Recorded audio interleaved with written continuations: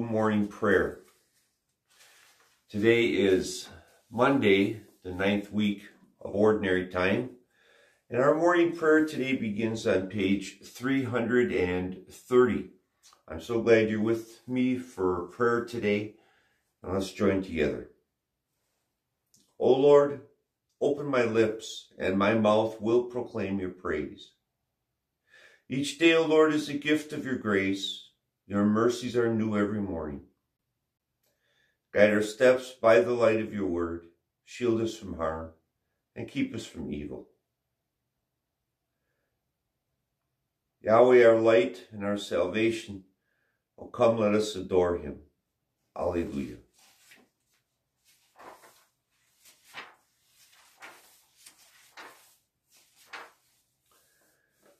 The night is past and the day lies open before us. Let us pray with one heart and mind.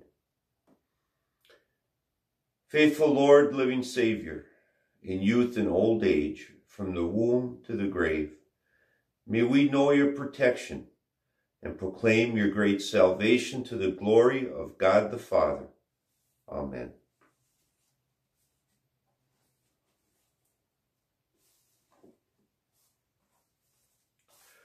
Our hymn for this morning's prayer is hymn number 8 on page 727 of our prayer books. Forth in thy name, O Lord, I go, my daily labor to pursue. Thee only, thee resolve to know in all I think or speak or do.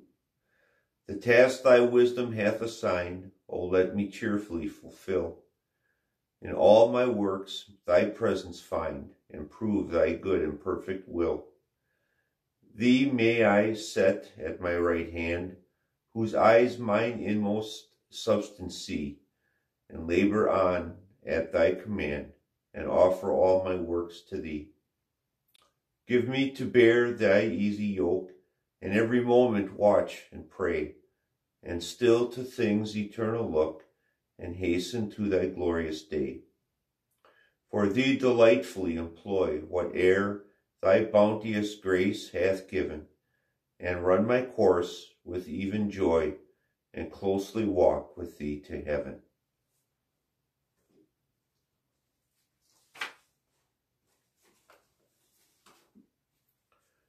Our psalm for today is Psalm 71.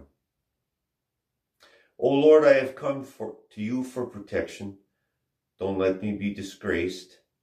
Save me and rescue me, for you do what is right. Turn your ear to, listen to me and set me free. Be my rock of safety, where I can always hide. Give the order to save me, for you are my rock and my fortress. My God, rescue me from the power of the wicked, from the clutches of cruel oppressors. O Lord, you alone are my hope. I've trusted you, O Lord, from childhood. Yes, you have been with me from birth, from my mother's womb. You have cared for me. No wonder I am always praising you. My life is an example to many, because you have been my strength and my protection. That is why I can never stop praising you. I declare your glory all day long. And now in my old age, don't set me aside. Don't abandon me when my strength is failing. For my enemies are whispering against me. They are plotting together to kill me. They say God has abandoned me. Let's go and get him, for no one will help him now. Oh God, don't stay away. My God, please hurry to help me. Bring disgrace and destruction on my accusers. Humiliate and shame those who want to harm me but I will keep on hoping for your help. I will praise you more and more. I will tell everyone about your righteousness. All day long I will proclaim your saving power, though I am not skilled with words. I will praise your mighty deeds, O sovereign Lord, and I will tell everyone that you alone are just. O God, you have taught me from my earliest childhood. I constantly tell others about the wonderful things you do. Now that I am old and gray, do not abandon me, O God. Let me proclaim your power to this new generation. your mighty miracles to all who come after me. Your righteousness, O God, reaches to the highest heavens. You have done such wonderful things. Who can compare with you, O God? You have allowed me to suffer much hardship, but you will restore me to life again and lift me up from the depths of the earth. You will restore me to even greater honor and comfort me once again. Then I will praise you with music on the harp, because you are faithful your promises, O my God. I will sing praises to you with the lyre, O Holy One of Israel. I will shout for joy and sing your praises, for you have ransomed me. I will tell about your righteous deeds all day long, for everyone who tried to hurt me has been shamed and humiliated. Praise be to God. Glory to the Father, and to the Son, and to the Holy Spirit as it was in the beginning, is now, and will be forever. Amen.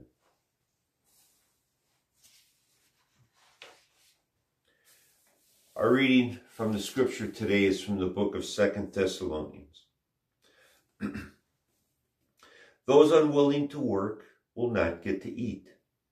Yet we hear that some of you are living idle lives, refusing to work and meddling in other people's business.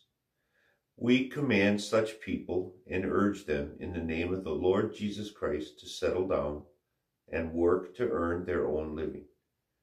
As for the rest of you, dear brothers and sisters, never get tired of doing good. Blessed be God who lives forever, whose reign endures throughout all ages. Declare God's praise before the nations, you who are the children of Israel. For if our God has scattered you among them, there too has he shown you his greatness. Exalt him in the sight of the living, because he is our God and our Father forever. Though God punishes you for all your wickedness, mercy will be shown to you all. God will gather you from every nation, from wherever you have been scattered. When you turn to the Lord with all your heart and soul, God will hide his face from you no more. See what the Lord has done for you and give thanks with a loud voice. Praise the Lord of righteousness and exalt the King of the ages. Glory to the Father, and to the Son, and to the Holy Spirit, as it was in the beginning, is now, and will be forever. Amen.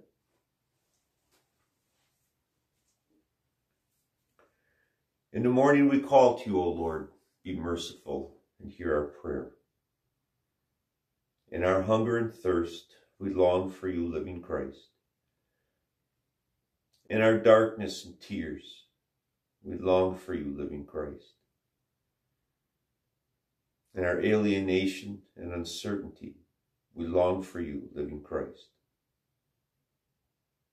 In your call and your deliverance, we long for you, living Christ. In your truth and justice and love, we long for you, living Christ.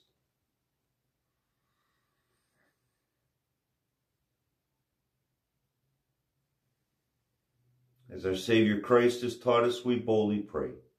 Our Father who art in heaven, hallowed be thy name. Thy kingdom come, thy will be done on earth as it is in heaven. Give us this day our daily bread, and forgive us our trespasses, as we forgive those who trespass against us. And lead us not into temptation, but deliver us from evil. God of our desire, you reveal yourself to us in majesty and glory. May we long for your presence.